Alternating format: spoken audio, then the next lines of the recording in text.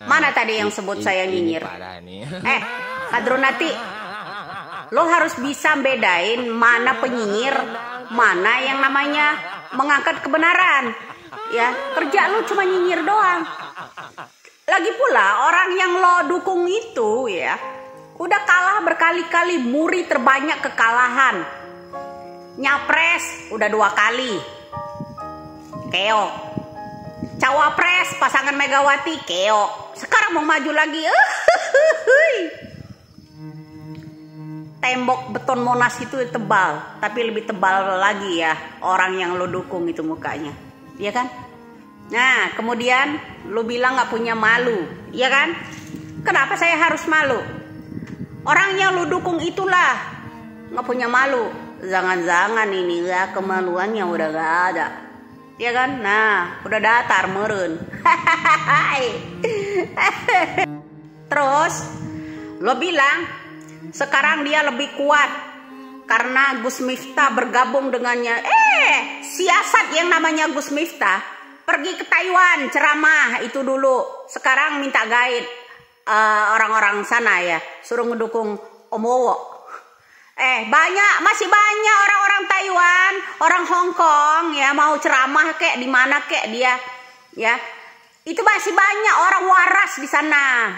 Nggak perlu takut Gus Miftah ya ikut dukung Wowo. Ngapain dia pikir dia akan menang? Enggak lah. Udah tahu dia capresnya itu siapa. Eh sekarang kemarin-marin dia sendiri. Sekarang ini gimana? Kalau saya nggak sebut dia penjilat, banyak penjilat sekarang ini ya. Kan udah aku bilangin. Kenapa? Demi uang. Demi uang.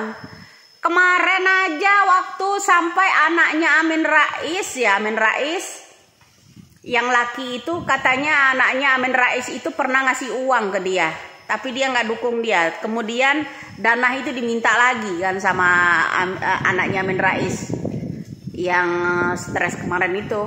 Nah tuh satu bongkar ya. Kedua Gus Miftah berubah jadi uh, penyanyi kemarin dia kenapa saya sebut dia juga ikut penjilat dia banting-bantingin itu pendukungnya Omowo ya beberapa tahun lalu. Kemudian mungkin karena uh, siapa namanya Yakut dijadikan menteri, mungkin dia sakit hati. Mungkin dia berharap ya Gus Miftah itu berharap dia dijadikan uh, menteri agama mungkin kemarin. Cuman belum dapat giliran, ya kan? Nah. Jadi berharap dapat jabatan juga dijadikan menteri agama kalau Wowo menang, ya kan? Iya nggak Gus? Saya tuh udah nebak, udah tahu. Kenapa? Ada yang mau komen lagi? Kemarin kalau nggak disebut penjilat apa coba? Kemarin dia banting-bantingin semua itu ya orang-orang yang uh, apa namanya pendukung Wowo. Baik itu PA 212 dan sekarang ikut bergabung. Gimana nggak uh, penjilat dia? Ya kan? Kenapa? Kenapa kok nggak enak kalau saya sebut itu? Memang begini saya, logatnya logat Batak, bro ya. Orang dari Sumatera ini ya. Orang Sumatera itu lantang. Kalau wong Palembang itu ya, katek pedasnya tak enak itu cuko ya. Nah itu lengkap. Ya. Ada asinnya, ada pedasnya, lengkap bumbunya wong Sumatera tuh. Nah, begitu juga aku. Kalau ndak ada bumbu, ndak enak didengar, ya kan kalian? Siapa yang banting kalian kalau aku nggak cuap-cuap? Keenaan loh, ya kan? Komen PKI, PKI, PKI. Eh, heh, ante-ante orba. Kalian lah itu dedengkotnya PKI itu. PKI teriak PKI. Anak gua nih teriak gua nih lo. Eh, payah loh deket-deket Sherlock Sherlock. Nantang begitu doang.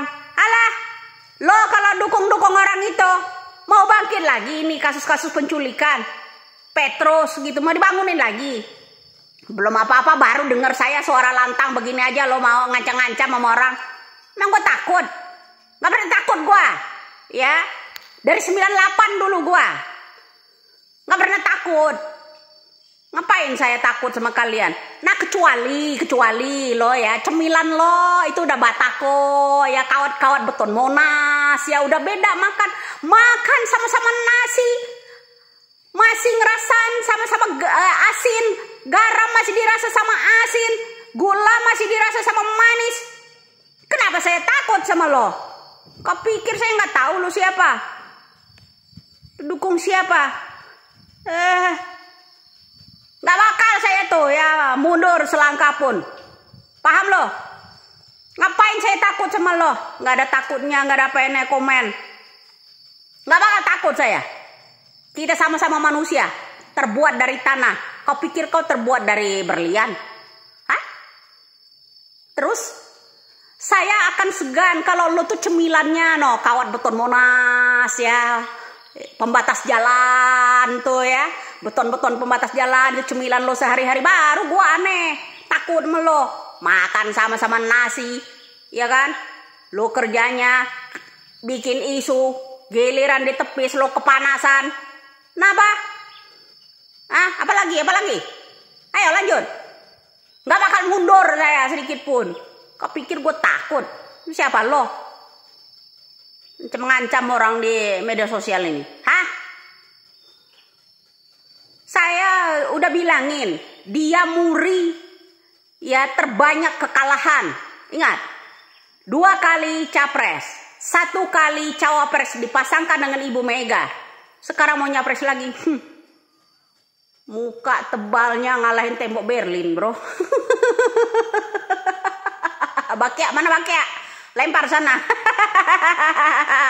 joget, joget, jalan aja caincur, caincur.